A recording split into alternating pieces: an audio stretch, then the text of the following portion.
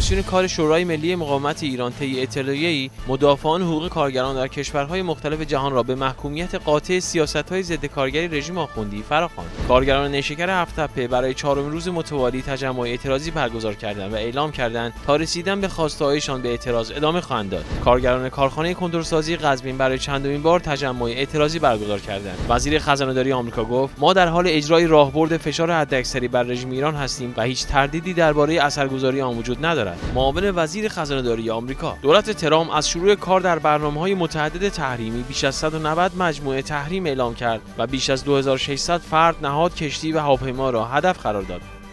نماینده دائم عربستان سعودی در سازمان‌های بین‌المللی در وین رژیم ایران پس از برجام به اقدامات خرابکارانه و ناامن کردن همسایه ها ادامه داده و امنیت منطقه را به خطر انداخته است.